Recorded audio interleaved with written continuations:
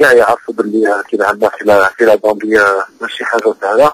ودركا خلاص لازم اون اوبلي باسي اللي فات مات دركا اون نوفيل ايكيب ان نوفيل les jeunes de votre faveur, de. Il faut avoir cette mentalité de gagnant. Alors, donc, euh, euh, l'Algérie est une grande euh, nation du football. Il faut y croire et moi, je suis très confiant et beaucoup, beaucoup de motivation, Inch'Allah, pour aller gagner là-bas. Même si ça va être très, très dur. Je suis Bon, le cas, c'est bien pour l'équipe nationale, parce que c'est un des joueurs qui m'a beaucoup fait les plateformes pour garder la forme. Et après, les matchs à l'équipe nationale, avec le cœur, voilà, c'est des matchs différents. C'est complètement différent l'Afrique. Il avec le cœur, euh, c'est dans tout pour le pays. C'est un autre style de mais Inch'Allah, on a avec des joueurs comme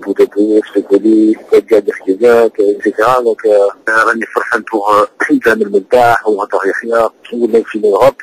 Et un grand club qui est aussi. Inch'Allah, a l'avenir devant nous et des belles, des à venir. Moi, Alhamdoulilah, je me sens bien physiquement. J'ai un petit problème au mollet la semaine dernière, ça une semaine. En tout cas, Alhamdoulilah, je suis prêt pour le match, Inch'Allah. إذا مجيد بوكر